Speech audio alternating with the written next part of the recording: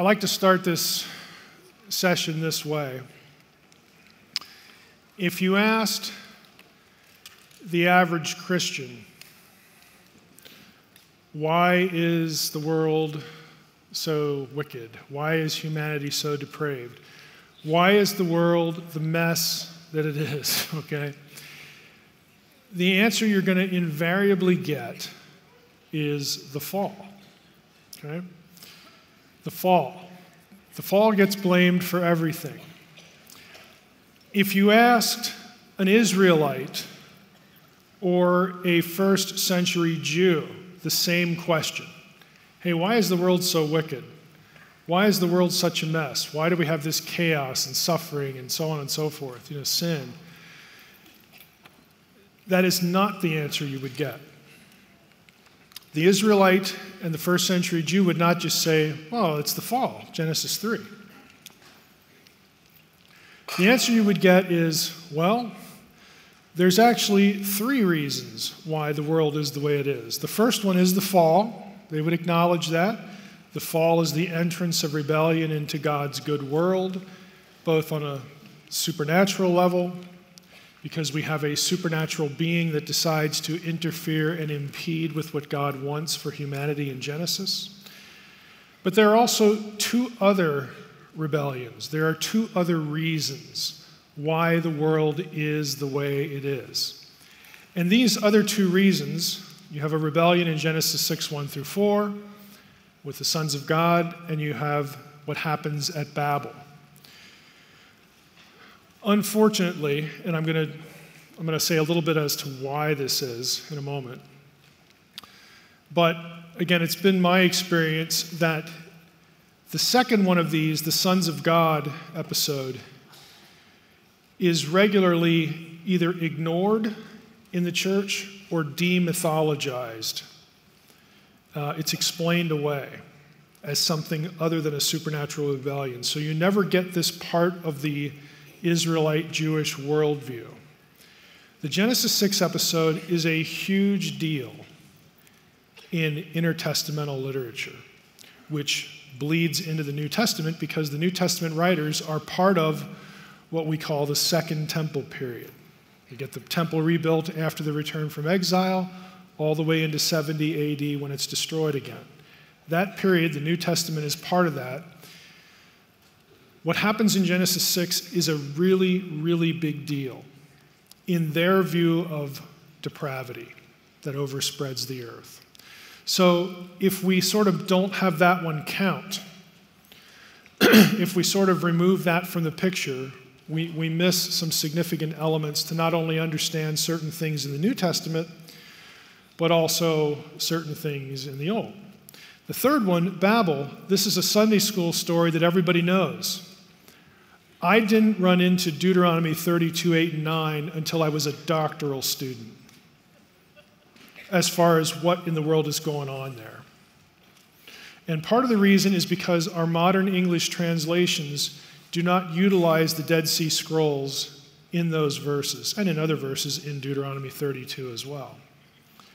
So we never see what the text originally had there and why it's important because Paul and others dip into Deuteronomy 32 8 9 with a fair amount of regularity. And that passage is the foundation for what we today loosely call spiritual warfare. But you'll never see it unless, again, you have like the Dead Sea Scrolls to help you. You'll never see it even though Paul alludes to it in Acts 17. You'll just never see it. You won't, it'll look like what Paul's saying has no context for it, like he's just making something up, because I can't find that in the Old Testament. Again, it's a textual issue, it's a manuscript issue. But all three of these, again, would be the Israelite Jewish explanation for why the world is the mess that it is. And as far as what, again, pun intended, I'm so clever the fallout of the three rebellions, the three falls, if you will. The first one, what that incurs to humanity is estrangement from God and death. Romans 5:12 Wherefore so by one man sin into the world and death by sin so that death passed upon upon all men. By the way, it doesn't say guilt there, it says death. Death passed upon all men. So we have an estrangement from God and we have a death problem. The second one is viewed again by Second Temple period Jews as a root cause of the proliferation of depravity. It's not that humans aren't depraved because they fell in Genesis 3. They, they, was, these were willful acts of rebellion. And you have plenty of other willful acts of sin that, that ensue from it. But Genesis 6 was thought to be about the proliferation, the acceleration of depravity among human beings. And in the Old Testament period, it was a lethal threat that arose from this event to the people of God as the people of God were known then, the Israelites. And the third one is really about abandonment and fragmentation of God, and not only God to the rest of humanity besides Israel, but really all of the nations from each other, and especially to God. Now, if you were a Second Temple period Jew and your, your answer to why the world is the, is the mess that it is were these three things, you expect the Messiah to cure all three problems not just one. You expect the Messiah to not just fix Genesis 3, but to fix the others. And that is actually what you get in the New Testament. It's just that we're sort of blind to the other two. So I want to talk a little bit about each of these. Again, if you're one of my people, if you're an academic and love books with footnotes, Unseen Realm has an awful lot of data I have a whole book that's going to be, the title's going to be Demons, but it's not going to be out for a while. I've already turned it in. Who knows what the publisher's going to do there? They'll do something. But that's going to have a, a truckload of data in it as well. And so those are the two sources. But Unseen Realm is out, and you can get more detail if you want it. Now, what I want to say about the first rebellion is that if I asked you, hey, you know that story in Genesis 3 about the serpent? Who was the serpent? Like, like every Christian is going to say, well, that was, that was Satan, it was the devil. In other words, the serpent there was more than a snake. Now, every Christian that I've ever met affirms that idea. But you'd be amazed at how much resistance there is in the academy to saying, to reading Genesis 3 that way. Again, I'm not going to go into why that is, but if you're, if you're going to check up on Mike after today's meeting, oh, a lot of scholars don't agree with that. I'm telling you that already. I, I already know. And their reasons for doing so are things I address in books and you know, take apart their answer and show why it's not really a good you know, answer. But the New Testament is one. We're dealing with more than a snake. In other words, Genesis 3 is not teaching us a zoology lesson. It's not teaching us a lesson about the evolution of snakes. You'll read that in creationist literature. Oh, the serpent originally had legs and uh, cursed to the ground. No, look, it's not teaching us about some development of a creature. It's not about zoology, it's not about biology. Again, we could go into all sorts of imagery about this being. And I could show you all sorts of data about how, both in Mesopotamia and Egypt, supernatural throne guardians, they guarded the presence of the deity, were cast as serpents or dragons. Because those are dangerous. okay, like if I was, if I was writing a, a story now and, and providing illustrations and I wanted to talk about bodyguards, I wouldn't put like a bunch of guys that weighed, a, you know, like they look like they're teenagers and you know they're not muscular. I mean you're going to draw those those individuals as as bad looking dudes because we just have this association with bodyguards and security you know especially around you know kings and whatnot they're they're armed to the teeth. They're a threat. If you step out of line you're going to pay the price. This is the standard way or one of the standard ways of describing a throne guardian in the ancient world. So, what we have here is we have an individual, an entity, and you could read Ezekiel 28, Isaiah 14, that has close proximity to God. But in Isaiah 14, this individual decides, Isaiah 14, 12 through 15, I, will, I want to be like the Most High. I will be the Most High. I want to be the one in charge of this. I don't like God's decision to make humans part of our family. Okay, I want to be the ruler of the council. You know, you'll get language like this in these passages, where Eden is the, is the cosmic mountain, the, the place where God dwells. Again, portrayed as a mountain because it's remote and transcendent. You have this individual rebelling and being cast out, cast away, but not before enticing humanity to rebel. So we have rebellion in the supernatural world and the human world. Revelation 12 and 20, this individual is identified as the serpent or the devil, God's original, the, original rebel who becomes sort of God's original adversary. And the cost of his rebellion is death to humanity and estrangement, separation from God. But the heart of the story is a supernatural rebellion. It's not a lesson about snakes and about biology and zoology. Now, this chart here is hard to read. It's, in, it's from Unseen Realm. But all I want you to notice is the right hand column. I have red, green, and yellow. Those are places where Genesis 3, Isaiah 14, and Ezekiel 28 overlap. It's a good number of places. On the left hand side, you have Hebrew terms for the dwelling place of God. Again, Eden is more than a garden, the serpent is more than a snake. These are images designed to convey the dwelling place of God. God actually came to earth. He created people to be in there, you know, in, on the earth with Him, with His supernatural family. One of them was a rebel and brings death because Adam and Eve are driven out of the garden, driven away from the presence of God, away from the tree of life, the thing which gave them, the two things which gave them contingent immortality, that is lost. It's not just a story about snakes and people in a garden. There's transcendent imagery here that, that, takes us into the supernatural thought processes. What it really you know, is trying to get at is chaos, disruption, disorder began in this place. It began in God's home. And the result was humanity now is going to live in a broken world. They're the product of a broken home. It's not what God wants it to be. We scholars use words like chaos to describe every, every condition or set of conditions that is contrary to the way God wants things. And this is where it begins.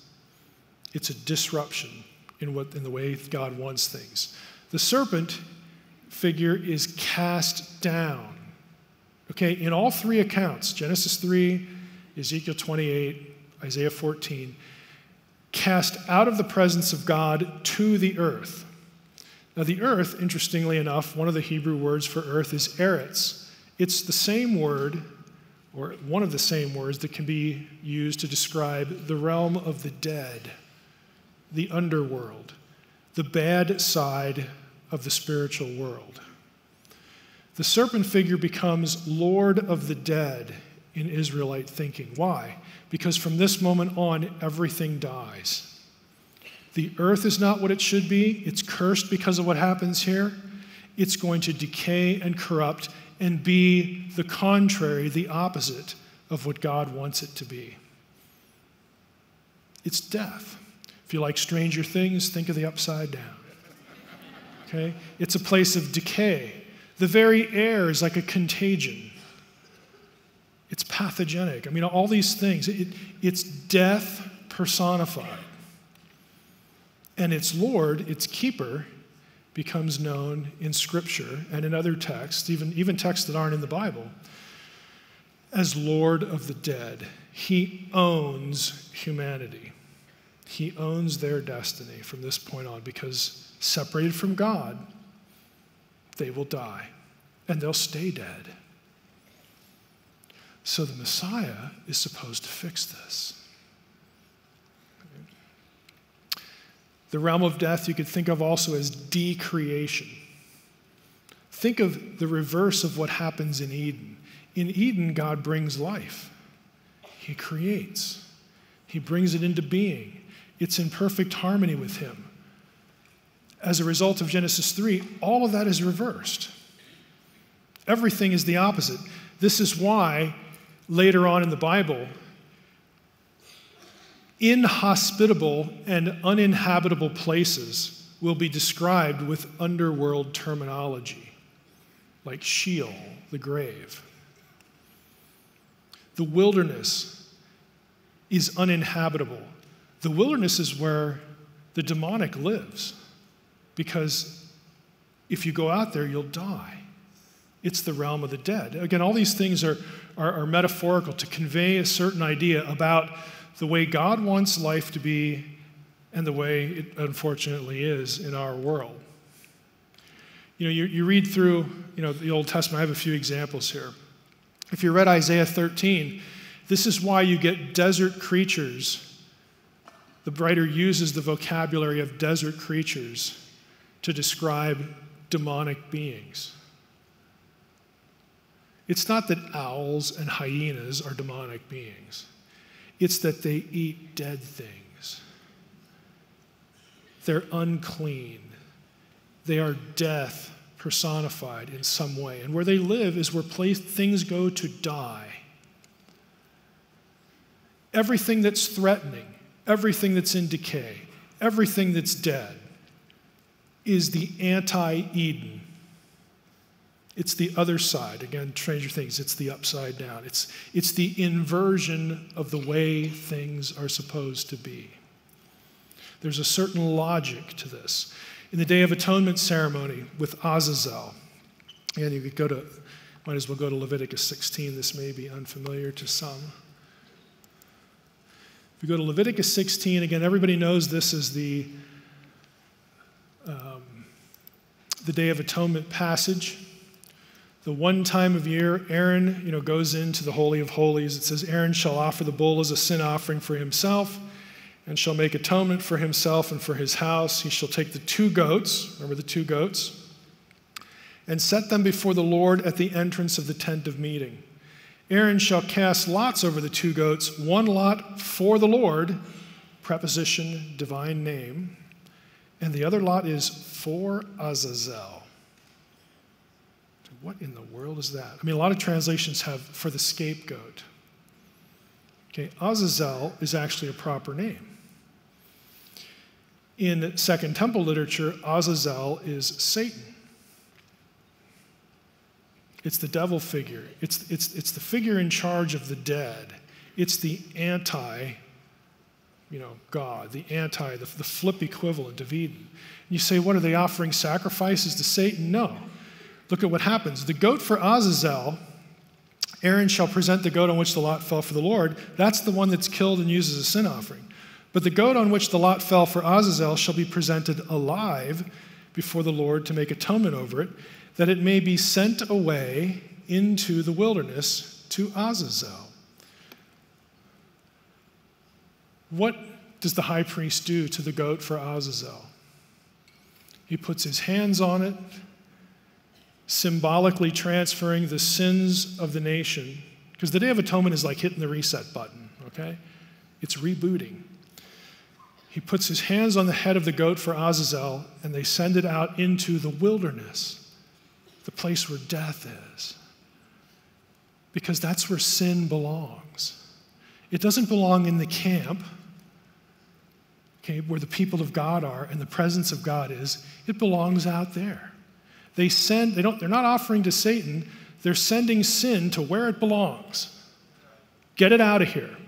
This is why Paul in 1 Corinthians 5, when, he, when they have to discipline a, a, a believer who's unrepentant for you know, immorality, they have to discipline this, this guy out of the church. that he's delivered unto Satan. It means he's sent out of the place that is holy ground, the church, because the glory of God dwells within each believer. We don't want sin here, we send it out. If the sin's taken care of, then he can come back in. This is just a little portion of what the Old Testament describes as, and we're going to get into in detail cosmic geography. There's a sense of things that are holy and sacred, sacred space, and either normal profane space or evil space. Things under the dominion of God and His presence, and things under the dominion of something else. It's just illustrated here in this part of the ceremony for Azazel. I mean, you read that and that sounds just kind of weird. Goat for Azazel? What in the world's that? He's out in the wilderness because that's the realm of death. That look at the desert, dude. Does that look like Eden looked? No. Okay, that's the whole idea. The Rephaim spirits. Just go to one passage here because we'll talk about who the Rephaim are in a minute. But also in the underworld, in Sheol, that's the Hebrew word for the underworld, Sheol beneath is stirred up to meet you when you come. This is God's words to the supernatural rebel, Isaiah 14, who rebels, wants to be like the Most High, and instead is brought low, brought down to the earth and down to the underworld. Right up here, just go up to verse uh, verse 9 Sheol stirred up in, to meet you. Your pomp is brought down to Sheol. You become weak as we, become like one of us. How you are fallen from heaven, O day star, son of the dawn. It's Hebrew is Hallel ben Shakar. Hallel means shining one. The Latin translation in the Vulgate is Lucifer. That's what Lucifer means in Latin, shining one. How are you fallen from heaven, O day star, son of the dawn, the, the dawn? How are you cut down to the ground? Again, you're made low. And even, even lower than the ground, you're in the Eretz, you're in, you're in Sheol, you're in the underworld. You said in your heart, I will ascend to heaven. I will ascend above the heights of the clouds. I will make myself like the Most High, but you are brought down to Sheol, to the far reaches of the pit. Now, if you look at other passages, let me see if I can find it here, if I can find my mouse. Uh, let's see, let's go down one. Uh, let's see, references to the grave and the dead in Isaiah 14. Let's see if I can find it here. Uh, let's see. Leaders of the earth. The shades right here. Let's just click on that. That's the term Rephaim. Where, we, where will you see that term if you know your Old Testament well? Who are the Rephaim? It's one of the names for the giant clans. Why are they in Sheol? Why are they in the realm of the dead here? Because they got killed. You say, well, who cares? Let's go to the second rebellion. Here's, here's why you'll care. I'm pointing this out because that verse in Isaiah 14 is going to be one of two or three verses in the Old Testament for the origin of demons. Genesis 6 4 is a controversial passage. The sons of God see the daughters of men. They cohabit with the daughters of men. They have children by them. The children are called the Nephilim, mighty men of renown upon the earth. Now, what's typically done in churches today is well, the sons of God there are just people, you know, the line of Seth or somebody else, or they're kings, and there's no, nothing supernatural going on here, and it's just kind of weird anyway. Like, like how would we have a you know, supernatural rebellion here and cohabitation and the giants and all that stuff? That's just too weird. So that can't be, it can't be what the writers intended because it offends us. And so let's just sort of get rid of that. And that's what's done. Now, there are a lot of problems with that. It means the daughters of men are the, are the evil line, and the men aren't evil. You know, the women are evil, but the men aren't. That's one problem. if you're going to go down that road. But here's the bigger problem in Genesis 6 Peter and Jude disagree. Peter, for if God did not spare angels when they sinned, but cast them into hell, and committed them to chains of gloomy darkness to be kept until the judgment, if he did not spare the ancient world, but preserved Noah, a herald of righteousness, with seven others, when he brought a flood upon the world of the ungodly. And then he goes to Sodom and Gomorrah. Can you realize this is a chronology? Genesis 6 4, 1 through 4, then the flood, then Sodom and Gomorrah angels that sinned, plural. It's not referring to Satan because it's plural. There is no other candidate for what Peter's talking about.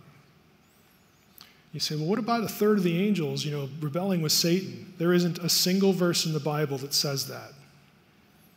Not one. The only time you ever get the word third and angel in the same verse is the last book of the Bible, Revelation 12 where it refers to war breaking out in heaven at the birth of the Messiah, which is a long time after the flood.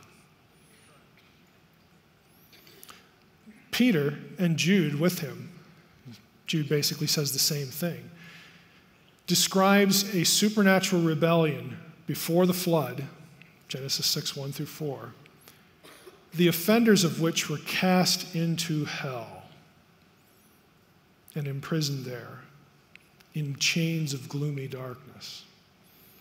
Now, do you notice something already? Where do they get this chains of gloomy darkness business? Because if I remember Genesis 6, let's just go there.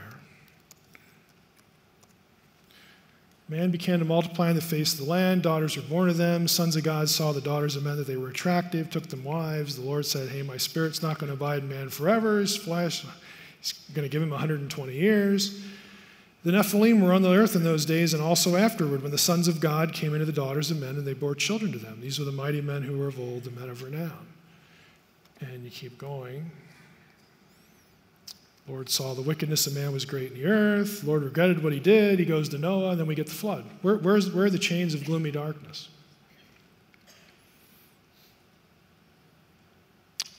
They're not there. And that tells us that Peter and Jude are getting that idea, that material, from somewhere else. They're drawing on material not in the Old Testament, but they're drawing on some other piece of literature or a tradition, a wider tradition, about Genesis 6. Peter and Jude are drawing directly, actually, on ancient Jewish books like First Enoch, Jubilees, and the Book of Giants, all from the Second Temple period. And they're all part of the Dead Sea Scrolls. So Peter and Jude are reading Jewish books, essentially commentary on the Old Testament on this episode of Genesis 6 1 through 4. And they bring some of that material into their own writings in the New Testament. That's where they get it. Newsflash New Testament writers, biblical writers, read books. I mean, we have this weird mythical idea that the Bible guys, they never read anything. They just were kind of like making breakfast one day and then they got zapped and they went into a trance. And then they, and they woke up and there's a scroll in front of them. And it's like, man, I can't wait to read that. I can't wait to read what I just wrote. I wasn't aware that I wrote it because my brain was disengaged. I was getting downloaded. Okay, the Bible, some of you will get this reference. The Bible is not a channeled book. It is not the book of Urantia. Okay, the Bible is a book produced by people whom God providentially prepared for the task. That's what it is. And they read books they are informed by their environment, their culture, stuff they read, and God knows all of that's going on. He's preparing them from the time they're born up until the moment when He prompts them to produce something for posterity that becomes part of that thing we call the Bible. It's not just downloaded like their brains were not engaged. You know, we, we really have a deeply flawed conception of inspiration if you think that the Bible is a channeled book. It makes you very vulnerable to criticism, and it makes the Bible vulnerable to criticism in all sorts of ways. Again, this is one of those, it'll take me five minutes to destroy your view of the Bible by using the Bible and using the presumption of how you think you got it. It's not hard. It happens in university classrooms every week. Okay? It's not hard to do. And in this case, Peter and Jude read books. And this material that they're reading, here's the neat part they providentially read material that actually preserved the original context for Genesis 6 1 through 4. Because Genesis 6 1 through 4 is there for a reason. It's not that, again, man, I'm four verses short. You know, I got a, I got a verse count here. You know, what should I stick in here? Let's like give them a really weird thing. You know, don't play with their minds a little bit. No, there's a, there's a point to why the verses are there. But the context is lost on us. The Old Testament writer assumes his readers will, will sort of pick up what he's laying down. And some of them did because they write about it later, and Peter and Jude use those works and they actually recover the original context. Since the 19th century, we've known that Mesopotamian flood stories are very similar to the Bible's flood stories. If you went to college, I can guarantee if you took a religion class, you heard this. Because people love to use this as a wedge between you and your idea that the Bible's different than other literature. Okay, this is sort of a favorite trajectory. Similarities with other, with other documents. This has been well known since the 19th century. The biblical story records an event, but it also does theology. The flood story isn't, just, isn't designed just to tell you there was a flood. The flood story is actually making a theological point, and that's actually what's happening in the first four, really the first five verses of the account. The writer is shooting at something. And what he's shooting at is Mesopotamian religion. He's shooting at some other gods when he does it. But again, that's a context that lost to us. It wasn't lost to Peter and Jude or the, the writers of that other literature. So, again, books like Enoch preserve this. Here, here's to, to, get us into this subject, I like to, to do it this way. We just read Genesis 6 1 through 4, this weird sons of God stuff that Peter and Jude take at face value, okay? It's just weird, all right? And if it's weird, it must be important, and it is. But look at verse 5. Like, what does this have to do with the first four verses? The Lord saw that the wickedness of man, wait a minute, I thought the sons of God were the bad guys. The Lord saw that the wickedness of man was great in the earth, and that every intention of the thoughts of his heart was only evil continually. How do you go from the sons of God violating the, the boundary between heaven and earth? You know, how do you go from a supernatural rebellion to every, all the people being wicked all the time? What's going on here? How do you go from one to the other? If you knew the backstory, you wouldn't ask the question. So we're going to go into the backstory.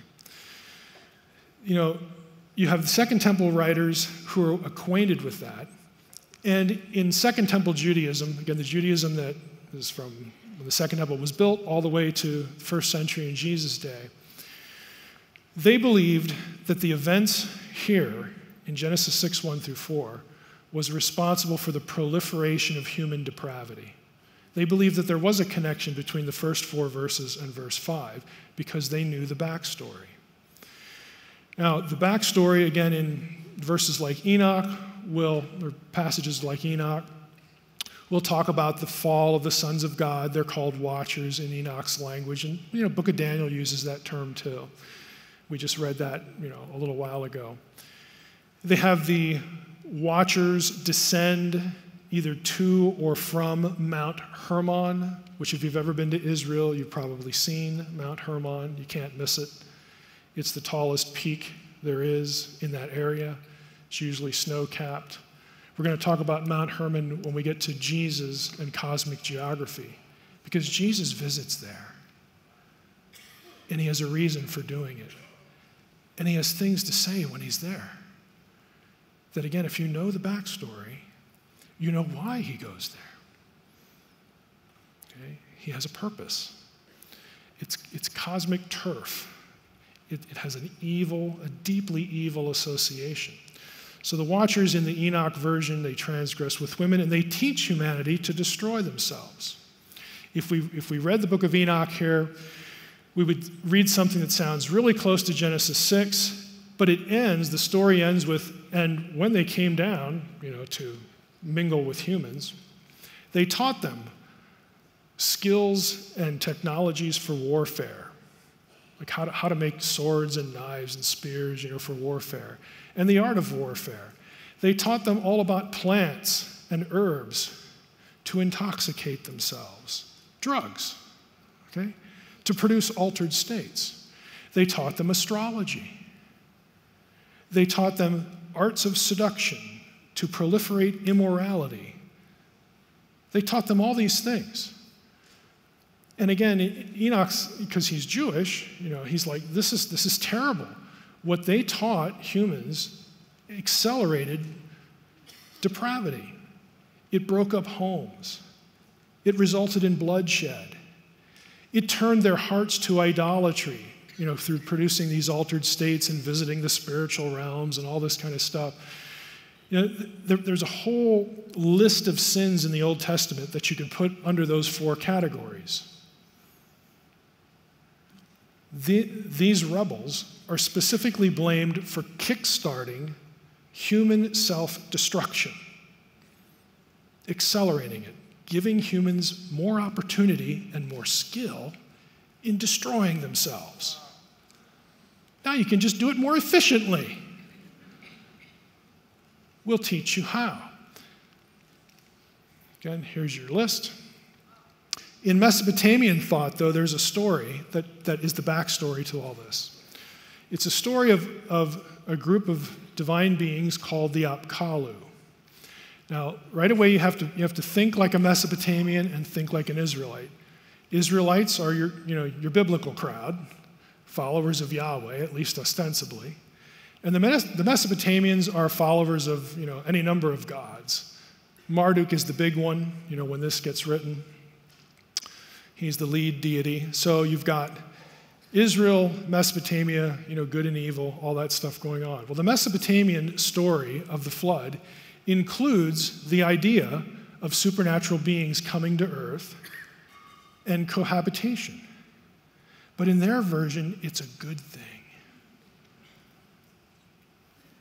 This is why Babylon is known for its immorality, certainly its idolatry, for its dark arts. Okay, they were an empire. But those are good things because we're Babylon and we're great. There's no one like us. We are the top dog of civilization. And what the Babylonians wanted people to know is the reason we're so wonderful and so awesome and so unbeatable is because the gods helped us create Babylon they give the gods credit. And in the Apkallu story, the Apkallu are thought of as culture heroes by the Mesopotamians, the great civilizers of their civilization, the ones who taught the Babylonians all sorts of things to build their power. So they're heroes, they're good guys. These seven sages, there are seven of them, were created by other gods in the abyss. That ought to ring a bell. Okay? They're created in the abyss. They, one of their jobs was to ensure the correct functioning of heaven and earth. They had great power, great knowledge, and they're going to teach humans things, ostensibly to create civilization. But again, the Jews look at this and they go, This is horrible. We shouldn't have random bloodshed. We shouldn't have immorality. We shouldn't be worshiping other gods. We shouldn't be doing any of this garbage. But if you're a Babylonian, you're like, yeah, sign me up for that. The wisdom taught by the Apkallu to the Babylonians corresponds precisely to the forbidden knowledge that you'll see listed in Enoch. That's not a coincidence. Again, negative view, positive view. The Apkallu, they also, archaeologists have discovered little figurines, because the Apkallu, again, they're viewed as good guys. They're not viewed as sinister demonic figures by the Babylonians. They would make figures of the Apkallu and bury them in foundations of buildings to protect the building, you know, from whatever the Babylonians didn't like. And their name for those sculptures was Matsare in Akkadian. It means watchers. That's not a coincidence. Again, that's Enoch's term for the sons of God who fell before the flood. It's not a coincidence. He's getting it from Babylonian material. The higher gods in the Babylonian story one day, is the Apkallu are kind of mid, mid-level deities.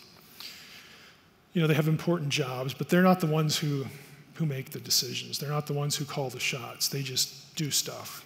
They're real smart and do stuff. So the higher gods decide, you know, we're kind of sick of humans. You know, you read Enuma Elish or the Gilgamesh epic or something like that, you're going to get this story. You know, we're kind of sick of, of humans. They make a lot of noise. You know, they, they just, you know, it, this was just a bad idea. So, you know what? We're going to get rid of them. We're going to send a flood and wipe them out. And then the gods, you know, high five each other and, ah, great idea, you know, what? Let's just get rid of them. Well, the Apkallu hear this and they're like, you got to be kidding. I mean, we've invested a lot of time in these people. You know, we've taught them all sorts of things. How in the world, I mean, all that work is going to be lost if we just, you know, if, if they just get destroyed. So they decide, well, okay, we can think of a way to sort of transmit our knowledge to human survivors of the flood, and then we can sort of start up again. Our work will not be lost. Now, the Erra epic, which is a Mesopotamian text, is a key source for this. It lists seven pre flood kings, each of them accompanied by an assisting Apkallu. So the king said, I owe my success to this deity, and then they, you know, they list them out in a cuneiform tablet. Each king is assisted by a specific Apkallu, and they're all divine beings. But after the flood, there are texts that mention four of them, and they're no longer completely divine. They're of divine descent but they're also described as partly human. Does this sound familiar? Okay, the Gibborim, the Nephilim, okay, they're also described as other ways. They're two thirds Apkallu is one description. That's the description given to Gilgamesh, who is called in one cylinder seal the Lord of the Apkallu, and Gilgamesh is a giant in Mesopotamian tradition. Does that sound familiar? Divine beings, cohabitation, offspring that's mixed, they're giants, and you know they're they're just bad dudes. Okay, the Babylonians think, well, this is great, good idea. You know, you, you save civilization here. In the Israelite version in Genesis 6, it's like, this is awful. Because what do the Nephilim and their succeeding generations do? Numbers 13, 32, 33. When Joshua, along with 11 others, you know, Joshua and Caleb and 10 other spies, are sent into the land, they come back in Numbers 13, 32, and 33 and say, What? What do the spies say? This place is awesome. Like, it's everything we heard it was going to be. And the people are like, Yeah. And, and, the, and the 10 of the spies go, No, because, because there's one other detail here. The place is littered with Anakim, who are descended from the Nephilim, great and tall. Essentially, we're going to get our butts kicked. Okay, we do not stand a chance. And Joshua and Caleb are like, don't you remember like the Red Sea? Like, hello? But 10 of them say, We're out of here. And so God says, Because you don't believe, You're going to wander in the wilderness now for 40 years until this generation dies out.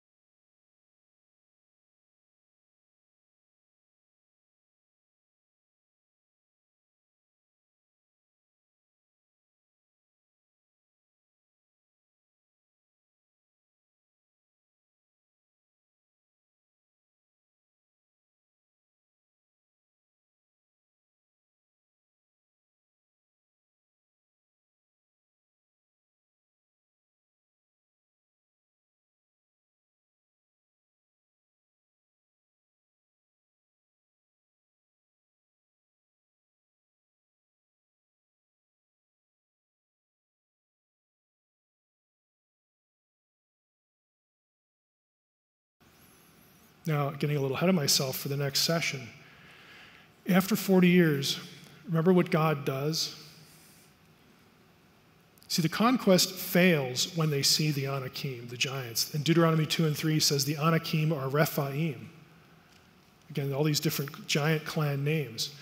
God takes them up the other side of Jordan, and they pass through Ammon and Moab, and, and God tells, you know, Joshua, Moses and Joshua in Deuteronomy, now go up, go through Ammon and Moab, but don't bother those people, because the descendants of Esau have already eliminated the giant clan, clans there the Zamzummim, the, the Zuzim, and the Emim. So you don't have any business there. Don't bother them. I'm going to send you to Bashan, where the last of the Rephaim live. God intentionally takes them back to confront the same people they ran away from. They have to conquer Bashan, the vestiges of the giant clans in Bashan, before God allows them to cross over and then do the same thing in Canaan. He brings them full circle. You're not getting out of this deal because th- this is, these are the elements of the population in the, in the conquest narrative. These must be eliminated because they are spawn of rival gods. They want to seduce you to idolatry. They want to destroy you because you're my people. You say, well, how in the world did we get into that situation? Like where all these nations have other gods. I mean, how did we even get there to begin with? Okay, we'll talk about that in a moment. That's Babel. But in Jewish tradition, here's where demons come from the demons of the Gospels, who are not the principalities and powers. We'll see that in a moment, too. In Jewish tradition, if you asked, where do the demons come from? This is it. Because when the Rephaim die, where do we see them in the Old Testament? Sheol. A demon is the disembodied spirit of one of these guys. That was the belief in Judaism. And again, you can read it all through Second Temple Jewish texts. And, I, am sure that, that maybe there's some of you who have heard that before. But again, this isn't taught in church because you're not encouraged to read the texts that Peter and Jude read that wind up you know, getting drawn on for material in the New Testament. You don't read Isaiah 14. You don't read about the Rephaim. You don't read about Sheol. You know, again, this is your biblical worldview. So you've got one rebel who brings death and estrangement to humanity. That's the one you know about. That's the serpent. You've got this crowd who rebel against God. Now, God, in, in all traditions, God takes the offenders and assigns them, sends them back to the abyss. In the Mesopotamian story, that's what Marduk does. Marduk says, Look, I wanted humanity destroyed. I didn't want you guys interfering. So I'm going to sentence you to go back to the abyss to never return. Every element of Genesis 6 1 through 4 is accounted for in the Apkallu story, every one. And it's only really been since 2010 that scholars who muck around in cuneiform tablets have assembled the data. So, by definition, if you have a commentary at home that doesn't include what I just talked about, I'm sorry, but it's obsolete in Genesis 6 it does not take into consideration the primary source text material that is the backdrop for Genesis 6 1 through 4. That isn't my fault, I'm just pointing it out. Okay, it's, it's just, this is what happens. People discover things and you learn more things. There was a time when the Dead Sea Scrolls were unknown. 1947, 48, you know, we, we've learned lots through them. It's the same thing over here. Now we understand why Peter and Jude could read Enoch and go, oh, you know, we get it because in, in, in the book of the giants, Gilgamesh is actually mentioned by name as a giant. What a coincidence. There are Jewish people who are serious about the Old Testament and they preserve the backstories, the context of the Old Testament in all sorts of ways. And they write about their discoveries, they write about you know, the, the dots they're connecting. They do exegesis, they do interpretation. This is what Jewish thinkers are doing in this 500 year gap. They're studying the Old Testament, and they have access to lots of material to help them understand it. And New Testament writers like Peter and Jude, they read some of that stuff. And they bring it into the New Testament because it helps them make an argument. In Peter and Jude's case, who do they compare? Who are the angels that sin? What are they a foil for? False teachers. Wouldn't it make sense to equate a false teacher with like an Apkallu dude or one of the fallen sons of God because they were believed to lead people astray? Why in the Gospels are demons called unclean spirits? It's because they don't take a bath? Because okay, they eat like stuff they shouldn't? No. What are, other than like, you know, like food laws in the Old Testament, what are some other things that make something, uh, either an animal or a person, unclean? Forbidden mixtures. This is why the watchers are called bastard spirits in the Dead Sea Scrolls, because that's what they are. And they're unclean spirits. I could cite you sources where, where guys write their dissertation on the phrase unclean spirit. Where does it come from? How is it used? That will make this point. It's just, again, this is what I try to do. I try to give you know, scholarly material, make it decipherable, because it, it, is, it is kind of important in terms of the worldview of what we're talking about. You have the lesson to learn from Genesis 6 ultimately is not about giant stuff. I mean, people love that stuff, but it's really not about giant stuff. It's about understanding that you have supernatural enemies who enjoy your destruction. It's about your living a legacy that is partly your fault, but partly one imposed upon you by intelligent evil. Now, you can say, well, all those guys are locked up in the abyss, you know, and they are. Okay? They are. Demons are at times allowed to get out, like in the Gospels, and they possess people. They harm individuals. That's not our real problem. Our real problem is the next set, which are different. But the idea that there is intelligent evil out there that seeks your destruction is an important one. Now, when it comes to the biblical story, it's kind of interesting. Who destroys the, the lineage of the Nephilim in the Bible, in the Old Testament. Okay, Moses and Joshua in the conquest. And then the last, in fact, Joshua winds up his conquest narrative, narrative this way. How does Joshua define success? It's in Joshua uh, 12, or Joshua 11, 21, 22. It says, There are no more Anakim in the land, except the ones that escaped to the Philistine cities. Where do we find the vestiges of them later on. It's Goliath. He's, he's from one of these cities. Goliath has, you know, some brothers too. It's David's men who take care, and David, of course, of the rest of the line. Isn't it fascinating that Moses, Joshua, and David, who are three archetypal figures of the Messiah, wind up destroying the giant clans? That's not a coincidence. Moses, the Messiah is the prophet like unto Moses. Joshua, it's Yeshua. I mean, how clear can that be? Okay? You know, captain of the Lord's host and all that. And Of course, David, the man after God's own heart, the messianic archetype. Again, none of this stuff is, is, is coincidence. It's designed to get you to think in a certain way, in this case about evil. The messianic role is telegraphed, you know, somewhat cryptically. Now, again, we don't have time to go into all these things, but you, can, you could go to YouTube. God forbid I send you to YouTube. Because, I mean, I, am on YouTube so many times and don't know how I got there. I just, but if Google, Google my name and like the time of Jesus' birth, there is specific imaging about the timing of Jesus' birth and the times and the seasons that is a direct polemic. It's a theological poke in the eye to the Watcher story. There are women in Jesus' genealogies whose lives mimic the circumstances of either sexual rebellion or crime, sexual crimes committed to them. All four of the, of the women in Jesus' genealogy have that. You know, you get Paul's reference in Galatians 3 19, 20. The law was added because of transgressions, plural. So it's not like Adam and Eve because they do like one thing.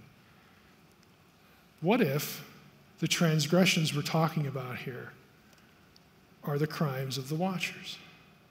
Because Galatians 3 goes into chapter 4 and talks about the timing of Jesus. In the fullness of time, the Son of God was born. You actually, again, if you read Unseen Realm, you're going to get all this, but there are actually Jewish texts that develop that thought that the law was added to circumscribe or put, the, put halters on, put boundaries around human self destruction that was proliferated as a result of what happened here before the flood. The law is added to help humans slow down in their self destruction, is the point. Again, I'm not inventing any of these ideas. This is all ancient material that provides context for what Paul's saying and other writers. And, you know, I know Stovall just preached, or recently preached a message on 1 Peter 3. Why does Peter mix the fall, or not the fall, but the flood, the, the angels that sinned, the spirits in prison, Noah, the ark, and the resurrection. I mean, like, what, what is he on? I mean, what, what is this guy thinking of? Did he just say, I need a chapter to write? I'm going to take all these things, toss them in the blender, and hit the switch. And then we'll just write, write something. No, all of those things are related in his mind because of this whole issue the resurrection deals with depravity because you have a resurrection, an ascension, and then the Spirit comes to indwell people to help them not destroy themselves. Again, all these things are connected. The big one, in many ways, is the last one here the third rebellion. This is the Sunday school story we all know, but we never see because again, we're cut off from some material. We all know the story of Babel, Genesis 11, 1 9. What we don't know is this one. When the Most High, again, that's not a brain teaser, we know who that is. When the Most High gave to the nations their inheritance, when he divided mankind, and when he fixed the borders of the peoples according to the number of the sons of God wait a minute. When the Most High gave the nations their inheritance, and divided mankind, he fixed the borders of the peoples according to the number of the sons of God? But the Lord's portion, but Yahweh's portion is his people. Jacob is his allotted heritage. Okay, when, were the, when was humanity divided into nations? That would be Babel.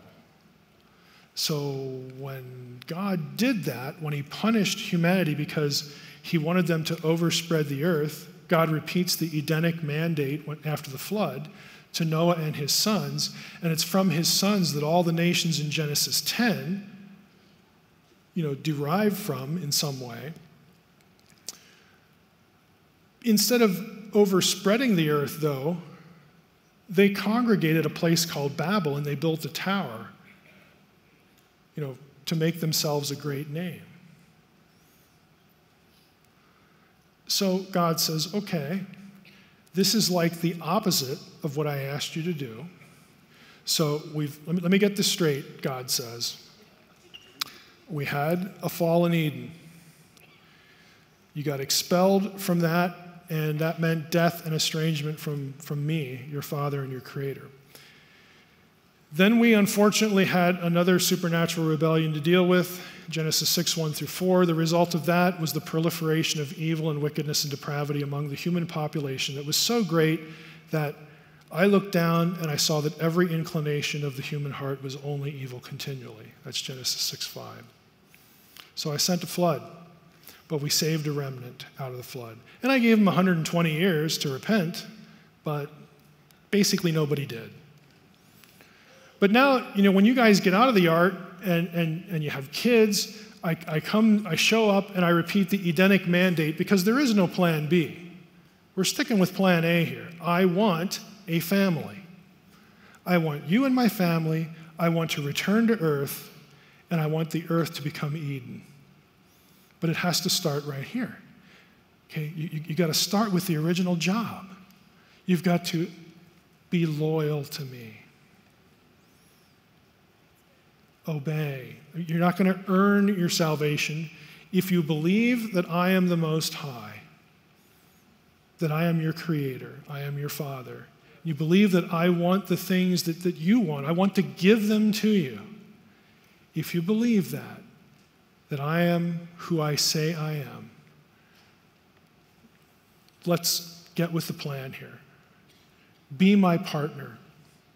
Be my child, be my partner. And so, what does humanity do? Now, we'd like to build a tower. You know, because, because if we build a tower, then like we're going to become famous. So it's a little more than that because everybody agrees, biblical scholars agree, that the tower they built is, was a ziggurat. If you know a little bit about ziggurats, it helps. Ziggurats were part of temple complexes in ancient Mesopotamia. You built a ziggurat to connect heaven and earth, and you would meet at that place to offer sacrifice and barter with the god or the gods.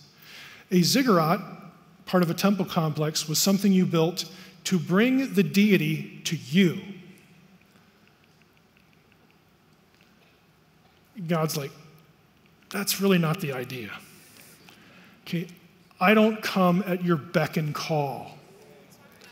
Okay, the, the God of Israel will not be tamed. This is what the thinking was about building, you know, these temple complexes. And God says, okay, here we are again. You don't want to be loyal to me. You don't want me to be your God. You don't want these things. I'm going to give you what you apparently are asking for. I'm going to give you a divorce. I'm going to disinherit you. I'm going to cut you off from me. I'm going to disperse you and divide you up geographically, and I'm going to assign each of you, each of the nations, to one of the sons of God. And you know, they're going to get assigned to you too. And what I want them to do, again, this is wider in the Old Testament, what I want them to do is I want them to essentially be placeholders. I still love humanity. I don't want humanity enslaved and destroyed and corrupted and basically ground into dust. And I certainly don't want humans to worship the other gods because I'm their maker. So, what I want is I want the nations ruled justly according to you know, my character and my principles. But I'm done with you. I'm going to judge your wickedness, and we're going to see how that goes. In the meantime, verse 9, here's what we're going to do there is no plan B. So, what I'm going to do, if you're not willing to be loyal to me, is I'm going to create more humans. I'm going to take one guy from Ur, his name is Abram, and his wife is Sarah, and they're perfect because they can't have kids. They're perfect because I'm going to supernaturally enable them to have a child so that everybody knows this nation, their descendants exist because of my power. That's what we're going to do. So, this is, this is what he does. What happens in the biblical storyline right after Babel? Genesis 12. What is it? It's the covenant with Abram.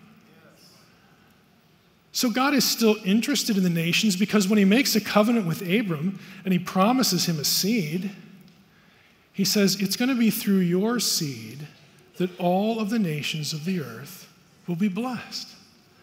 And um, you know, Paul later on picks up on this idea and he talks about well, the, the, seed was actually like one seed, it was Jesus, and of course he has goes all the way back through Abraham and you know the genealogies and all that stuff. And it's going to be the Messiah who is going to reunite the earth, reunite the nations. This is the plan. So God abandons them. Now, what this leads to, if you again know, if you want good bedtime reading, you can read my article about Deuteronomy 32 8. No, most of your Bibles will say sons of Israel. He divided them up according to the number of the sons of Israel or the children of Israel. The Dead Sea Scrolls say sons of God. Here I made you a nice little picture of the Dead Sea Scroll. If you read Hebrew, it's B'nai Elohim, sons of God.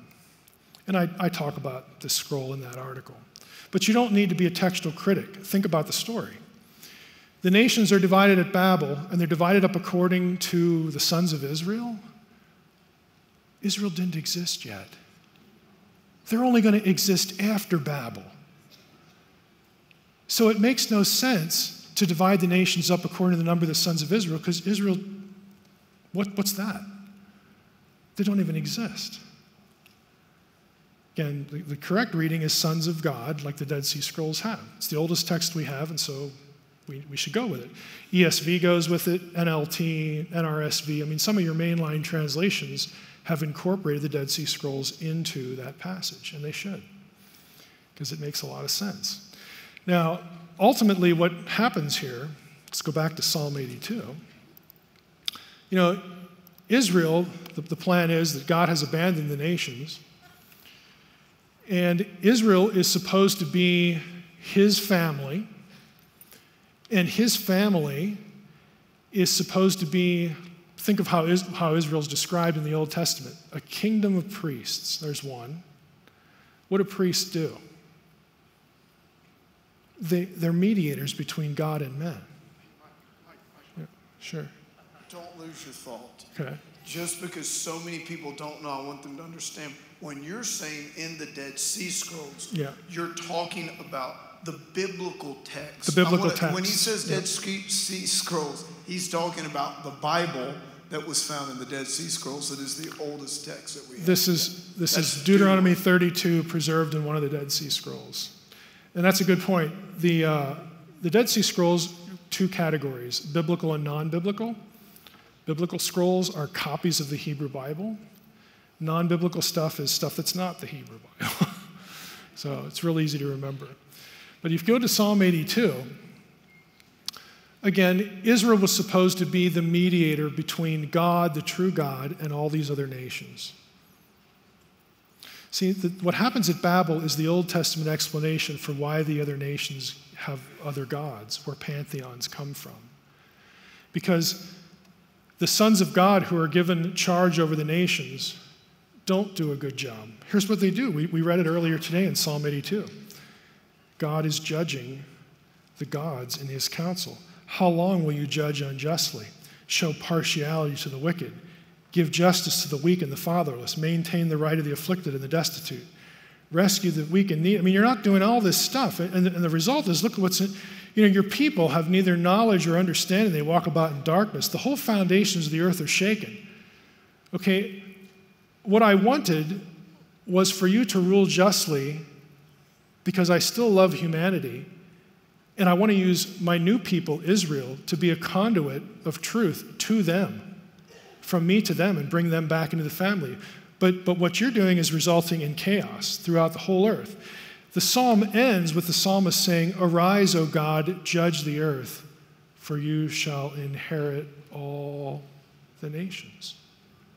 The psalmist wants this to end. He wants the chaos of the nations taken care of. The reason I have this highlighted, again, we, we can't go into this either, but in the, if you know what the Septuagint is, it's the Greek translation of the Hebrew Bible. The word here for arise in the Greek translation of the Hebrew Bible is the word for resurrection. And it, it, happens three or four times where the resurrection is associated with the reclaiming of the nations. This is just one of several passages. And Paul knows this, he knows it really well. Because five or six times, Paul, when he talks about the resurrection, he doesn't talk about being his ideal weight. He doesn't talk about getting his hair back, getting better eyesight, or he, when he, as soon as he thinks of the resurrection, he thinks about the conquest of the rulers, the powers, the principalities. He does it half a dozen different places. He thinks of one and goes to the other. Now, again, this is the way it was supposed to work, but it doesn't work this way. And what this is, this is the root, and we'll cover this in the last five minutes here. This whole idea of God scattering the nations, assigning them to other gods, and those gods become corrupt. They destroy their nations. They turn the hearts of their people to worship them. They turn the hearts of people to idolatry. It's a mess. It's the Old Testament explanation for after the flood, everybody knew who the true God was. After Babel, things just really go downhill. Okay? It turns into the system that, that, that we sort of know about the ancient world. You know, you, you, could go to, you could go to Plato and find the same worldview. You can go to Greco Roman writers. The pagan world believed the same thing that they worship the gods they do and their neighbors worship some other god because that's how the Most High wanted it. You'll actually find that in, in non biblical pagan texts. Again, Paul, when, when Paul goes to a pagan city, he knows that they share the same worldview, that, that's, it's a platform for the gospel. But before we get there, that, that's going to be the subject of the next session. This is the foundation for what we call spiritual warfare and cosmic geography. Daniel 10, the prince of Persia, prince of Greece. Where do we get this idea of supernatural princes over nations? Deuteronomy 32. The Babel story. That's where it begins. 1 Samuel 5, this is one of my favorites because it's one of the most obscure, but it's funny. Remember the story when the Philistines go to war with the Israelites and they capture the Ark of the Covenant? Okay, so what do they do? They take the Ark of the Covenant back to the temple of Dagon, all right, and, and they set it up in the temple of Dagon. And again, this is a familiar Sunday school story that we like to tell kids, again, because it's funny. I'll have to go to, let me just flip over and go to 1 Samuel 5, because there's a line in it that we all miss. So they, they take the ark over to Dagon's temple. Might help if I put the chapter in.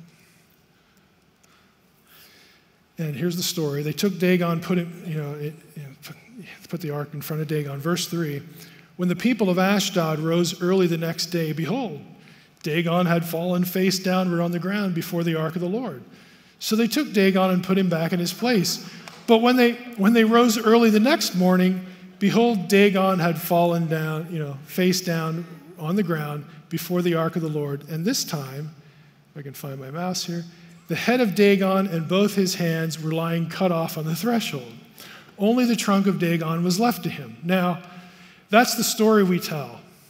Because it's funny, Dagon is reduced to a stump. And it, granted, okay, it's comical, but we miss the next verse.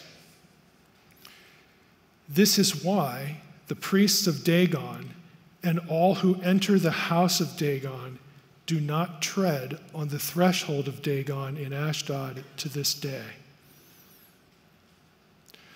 Where they found Dagon defeated, they don't walk on it because now that ground is under dominion of Yahweh.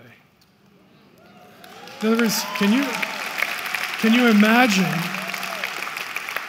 I mean, this must have been like some pirouette because you, you got to go into Dagon's house to do stuff.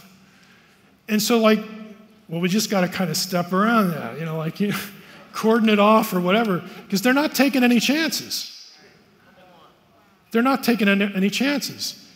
It is now ground that belongs to Yahweh. See, the nations around Israel are under dominion of fallen gods. Israel is Yahweh's portion. And Yahweh, when he, when he does things like this and conquers their deities, they get it.